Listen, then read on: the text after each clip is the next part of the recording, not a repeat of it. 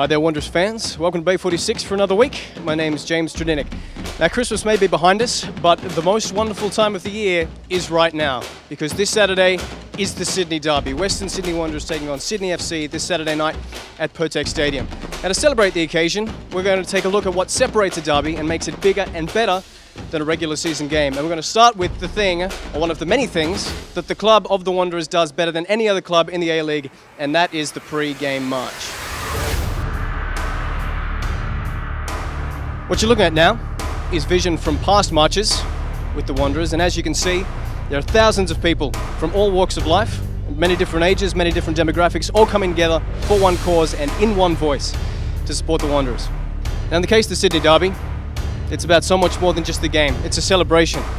It's a celebration of where we're from, but more importantly, it's a celebration of who we are. The march is where it all starts. Wanderers fans creating energy and an atmosphere that travels through Parramatta and into Pirtek Stadium.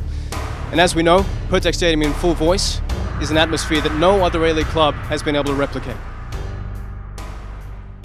Now the fact is the Wanderers haven't won a derby since season two, but that's not a fact that we're shying away from. In fact, it fuels the fire even more and makes us want to beat the old enemy just that extra little bit more.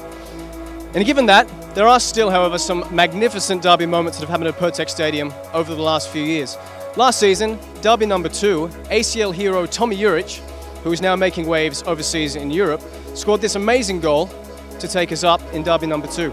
And in derby number three, fan favourite Kerem Bulut, who has also left us unfortunately, scored this amazing brace and celebrated in his trademark style with the RBB. Our last derby win in season two came thanks to Brendon Santalab, who scored in the dying minutes, jumped over the barricades and celebrated with the RBB. And though he's missed more football in recent past than he would have liked, he is fighting for full fitness. And who's to say we won't see it again.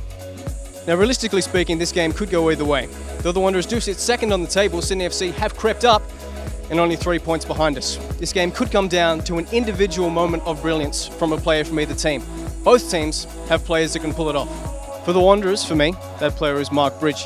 The 30-year-old has scored five goals from five consecutive games this season and has assisted two others. He also sits fourth on the all-time goal scorers list in the Hyundai A-League, and considering he's not an out-and-out striker, I'd say that's pretty darn impressive. For Sydney FC, it's some bloke named Filip Holosko. After a tepid start to his Hyundai A-League career, Holosko is beginning to hit his stride.